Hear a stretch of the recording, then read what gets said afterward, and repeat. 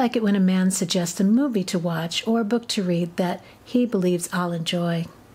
When he tells me the reasons that he thinks I'll like the movie or book, it tells me how well he knows what I like and that he was thinking of me.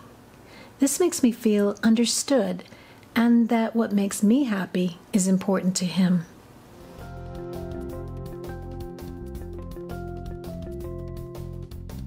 If you really want me to read the book, you could give it to me as a gift. The softer side.